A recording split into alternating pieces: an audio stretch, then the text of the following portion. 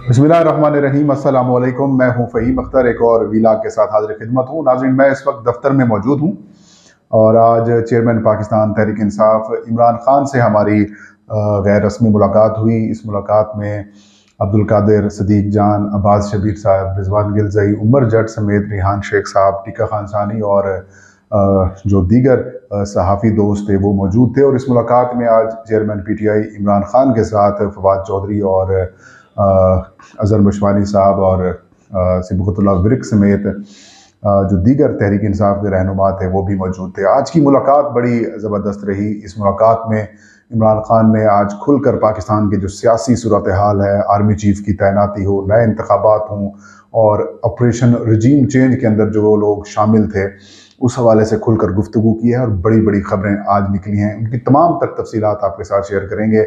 लगभग ये मुलाकात एक सवा एक घंटे से ज़्यादा वक्त के ऊपर थी और इमरान खान ने जो कि सुप्रीम कोर्ट ऑफ़ पाकिस्तान में पाँच जजेस की तैनाती होनी है और आर्मी चीफ की जो तैनाती होनी है, उसके ऊपर बड़ी गुफ्तु की। इमरान खान ने वाजे किया कि अदलिया जो है, उसके अंदर मेरिट होना चाहिए।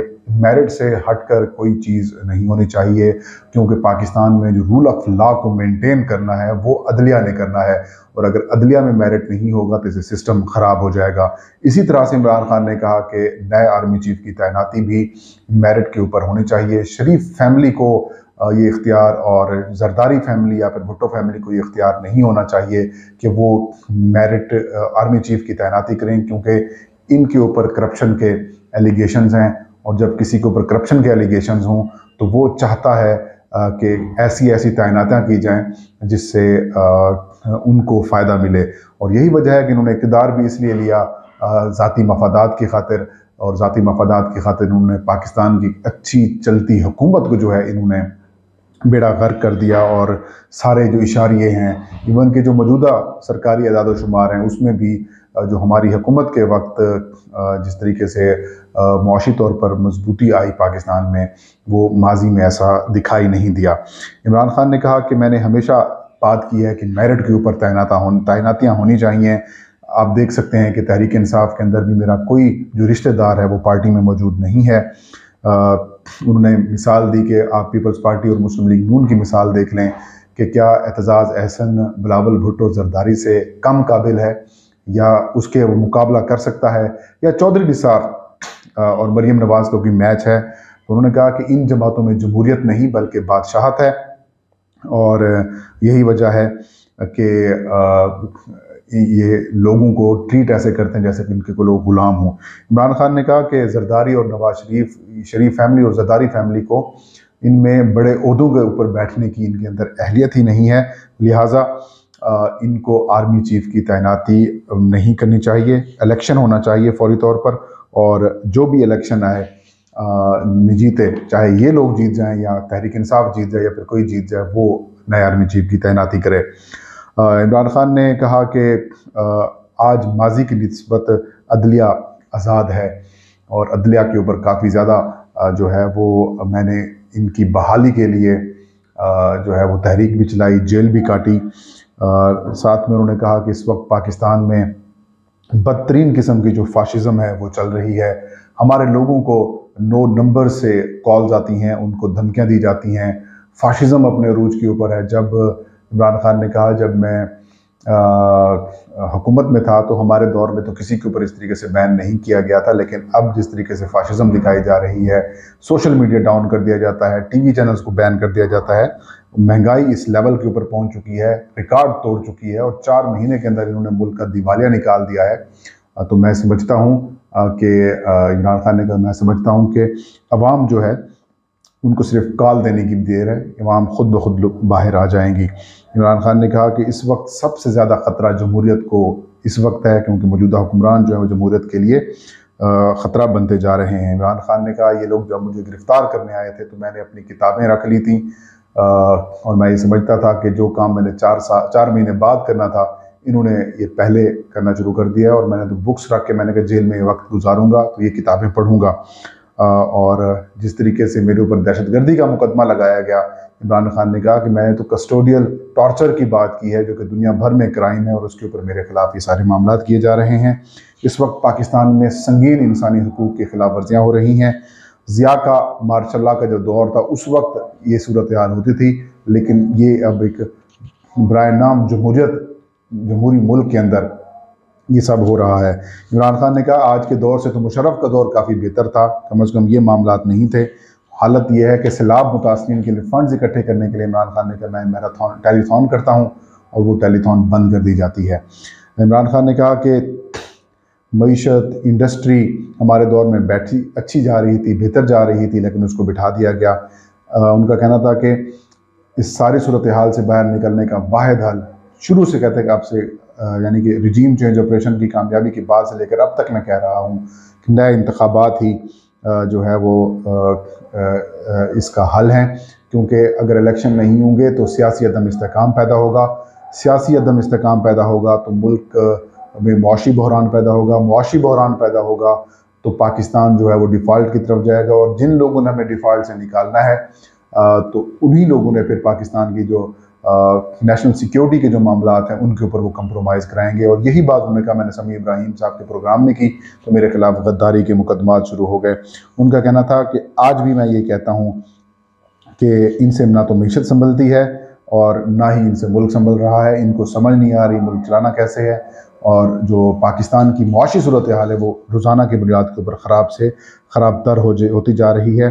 इमरान खान ने कहा कि इलेक्शंस के अलावा कोई हल कबूल नहीं है और इलेक्शन भी जल्दी कराए जाएँ, मार्च के अंदर भी इंतबात को हम एक्सेप्ट नहीं करेंगे। इमरान खान ने कहा कि शहबाज शरीफ की जितनी भी कामयाबी थी या फिर तरक्की थी या फिर उनकी जो एडमिनिस्ट्रेशन थी, वो सिर्फ़ इश्तारों की हद तक थी। ये मुल्क के लिए कुछ नहीं कर सकते। इनका हाल आप सबने देख लिया। इमरान खान ने कहा कि मैंने कभी नहीं कहा कि एक्सटेंशन आर्मी चीफ की एक्सटेंशन होनी चाहिए। इमरान खान ने कहा, मैं चाहता हूँ कि ये लोग जो करप्ट हैं, जिनके ऊपर हज़ारों, अरबों रुपए करप्शन के इल्ज़ाम हैं इनको पाकिस्तान के एक बड़े इदारे, जिसके अंदर अभी कुछ ना कुछ मेरिट मौजूद है फ़ौज के अंदर, उनके अहदेदार की तैनाती इनको नहीं करनी चाहिए। जो इलेक्शन जीत के आए, वो तैनाती करे और इसको इलेक्शन से मशरूत करना चाहिए। इमरान खान ने कहा कि मैंने इलेक्शन इसके अलावा उनको कहना था कि मौलाना फजलरहमान समेत जो दिए बाकी जो सियासतदान हैं जिनको इमरान खान ने चोर कहा और ये भी कहा कि मैं तो मौलाना फजलरहमान को मौलाना कहने की तोहन के समझता हूँ। तो ये लोग सब इलेक्शन से डरे हुए हैं इलेक्शन से भाग रहे हैं और चीफ इलेक्शन कमिश्नर तो नून लीग का है। आ, आपने देखा कि इमरान खान ने कहा कि इन नौ हल्कों के अंदर कहते हैं कि मैं जीत रहा था। तो इन्होंने देखा कि मुस्लिम लीग नून हार रही है तो इन्होंने इलेक्शन ही मुलतवी कर दिया। इमरान खान ने कहा कि जो लोग मुल्क के लिए बेहतर होगा या जो इदारा इस्टेब्लिशमेंट जो भी मुल्क के लिए बेहतर होगा, मैं उसके साथ हूँ। और जो लोग, जो इदारा मुल्क के ख़िलाफ़ होगा, मैं उसके ख़िलाफ़ हूँ। कौमी मफाद को ये लोग नुकसान पहुँचा रहे हैं, ज़ाती मफाद की वजह से। अगर इदारों को मुल्क की फ़िक्र होती तो ये रजीम चेंज ऑपरेशन कामयाब होता। इमरान खान ने कहा कि कुछ लोग, अफसोस है कि कुछ लोग ज़ाती मफादात की खातिर मुल्क को तबाही की तरफ़ लेके जा रहे हैं। कौम इस वक्त मेरे साथ है। ये मुझे दीवार से लगाने की कोशिश कर रहे हैं। जब देखूँगा कि मेरे पास कोई चॉइस नहीं है तो मैं जो है वो एहतजाज की कॉल दे दूँगा। इमरान खान ने फिर सितंबर में एहतजाज की कॉल देने का भी उन्होंने कहा कि सितंबर के अंदर जो है वो मैं एहतजाज की कॉल दूँगा और आप देखेंगे किस तरीके से लोग बाहर निकलते हैं। इन्हें इलेक्शन अनाउंस करना पड़ेगा। इलेक्शन के बगैर ना तो मुल्क की मीशत संभलेगी और ना ही लोगों का अतमाद आएगा। ना इन्वेस्टर्स का और ना ही जो हमारी मार्केट है, वो बेहतर होगी। आईएमएफ कह चुका है कि ये कमज़ोर तरीन हुकूमत है। तो अब देखें कि क्या ज़रूरत थी रिजीम चेंज ऑपरेशन की। डॉलर एक सौ अठहत्तर रुपये का था, अब दो सौ तीस रुपये का हो गया है। इसी तरीके से बाकी जो चीज़ें हैं, वो सस्ती होती जा रही हैं, लेकिन महँगाई जो है, वो अवाम का जीना दो भर किए हुए है। इमरान खान ने कहा कि एक सवाल हुआ तो इमरान खान ने हँसते हुए उनसे साफी ने पूछा कि आपके इंटरव्यू के बाद काफ़ी ज़्यादा चीज़ें चल रही हैं उनकी आज प्रेस कॉन्फ्रेंस भी नहीं हुई। तो इमरान खान ने कहा कि ये एक इन, इन स्विंगर था और इन स्विंगर के ऊपर बड़े बड़े जो बल्लेबाज हैं वो बोल्ड हो जाते हैं और इन स्विंगर यॉर्कर के ऊपर। तो ये एक ऐसा इन स्विंगर था कि अब इनको समझ नहीं आ रही कि इसका जवाब क्या दें। तो उनको जवाब समझ नहीं आ रही यही वजह है। इमरान खान ने कहा कि मुल्क तकसीम का शिकार है। कुछ लोग, जो लोग मुल्क का दर्द रखते हैं, वो एक तरफ़ हैं और जो लोग इस करप्ट सिस्टम के साथ जुड़े हैं, वो दूसरी तरफ़ हैं। अरशद शरीफ की बात की, बाकी सहाफ़ियों की भी बात की, उन्होंने कहा कि ये लोग खौफ के ज़रिए हुकूमत करते हैं और इसी खौफ की वजह से ये लोगों के ऊपर छाए हुए हैं और उनको डराते हैं। मैंने अपनी कोर कमेटी को वाजे कर दिया है कि अगर किसी, कोई भी किसी के खिलाफ की बात हो तो इनके खिलाफ जिन लोगों के रॉन्ग नंबर से कॉल आते हैं, यानी कि स्टैब्लिशमेंट की उन्होंने बात की बेसिकली अगर उनके ऊपर तनकीद करनी है तो साठ के साठ लोग तनकीद करें, किस किस को ये पकड़ेंगे और किस किस को ये फ़ोन करेंगे। उन्होंने इमरान खान ने कहा कि ये लोग खौफ से गुलाम बनाते हैं। बहरहाल उन्होंने कहा उन्होंने हवाला दिया कि कोफा के लोग समझते थे कि इमाम हुसैन रज़ी अल्लाह तु जो हैं वो हक पर हैं, लेकिन यजीद के खौफ की वजह से उन्होंने साथ नहीं दिया और इसलिए काफ़ी अरसे तक वो इसका अफसोस करते रहे।